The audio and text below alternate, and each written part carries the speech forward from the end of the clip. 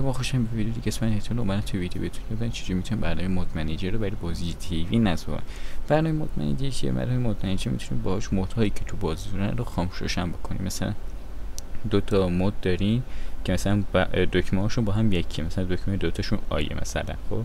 شما می‌تونید یکی از اون مودا رو خاموش بکنید که از اون یکی استفاده بکنید یا مثلا می‌تونید اصلا دوتاشو خاموش کنید و هیچ فرقی هم با هم نداره و همین دیگه. قرار که برین سراغ ویدیوتون ویدیو لایک کنید چنل سابسکرایب کنید کامنت هم بذارید که صحبت نبره و همین دیگه برین سراغ ویدیو. لیتس برنامه مطمئنی فقط شما یه فایل باید دانلود کنید که کلا 58 کیلوبایته.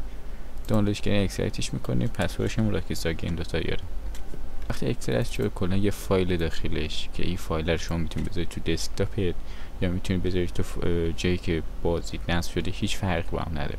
حالا مثلا من گذاشتم تو جایی که بازی نصب شده. اجراش می‌کنیم. وقتی شما اجراش می‌کنید یه سری چی میگن؟ حالا دسترسی ازتون می‌خواد که شما دسترسی ها رو قبول می‌کنی همش بعد پوشه‌ی بازیتون رو می‌خواد که اگه بخوام پوشه بازیتون پیدا کنید فقط کافی اینجا روی این قسمت یک کلیک بکنید این قسمت.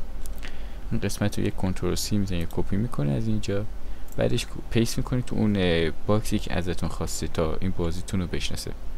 خب وقتی که این پنجره باز شما قسمت action find mods رو می‌زنید اینجا فقط قسمت DLL به مودز رو برمیده که مال مودای اول قهرمانی حالا بهتون میگن اگه خواستم اون خاموش کنید چیزی خاموش کنید و فقط این DLL رو تیکش برمیده و اینا رو کار نداره. اینجا فایند رو می‌زنیم. اینجا هرچی اومد فینیش که شد. اینجا اد آل مودز رو می‌زنیم. آل مودز میاد و فینیش می‌زنید تموم شد.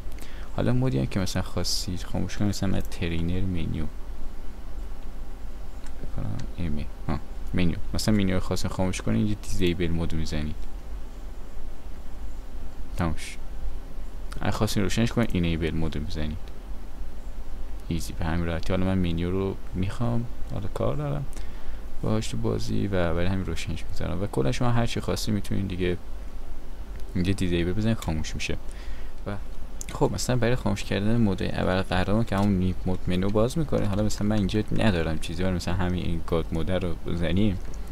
اینجا همش یه enable ی دارن. اگه false باشه یعنی غیر فعال نیست. فعاله. اگه true باشه یعنی فعاله. ببخشید اشتباه گفتم. اگه true باشه فعاله false باشه غیر فعاله.